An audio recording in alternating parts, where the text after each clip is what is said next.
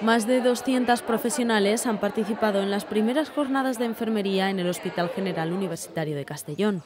con el objetivo de llevar a cabo la puesta en común de sus conocimientos, así como la actualización de los mismos. Las jornadas de enfermería siempre sirven para poner puntos en común eh, en cuanto a técnicas, en cuanto a procedimientos, en cuanto a actuaciones y también el poder dar una respuesta a todos los pacientes eh, que necesitan y que están ingresados en los hospitales para que toda la enfermería tenga más o menos una valoración igual. De esta manera se ha entablado un marco en el que mostrar todos los avances en los que la enfermería está inmersa, tanto en asistencia como en cuidados sanitarios y también en las nuevas tecnologías y procedimientos. Un total de 17 enfermeras han participado en las ponencias y los talleres. En la ponencia voy a tratar sobre la terapia de presión negativa,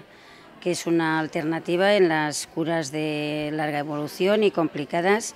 y es una, una, tecnología bastante novedosa. El éxito de estas jornadas recompensa la preparación e implicación de sus organizadores en este proyecto desde antes del verano, además de reflejar el trabajo diario de las enfermeras del departamento porque esto es como un primer pasito hacia adelante para poder estar en contacto todos nosotros. Es importantísimo estar en contacto de todas las enfermeras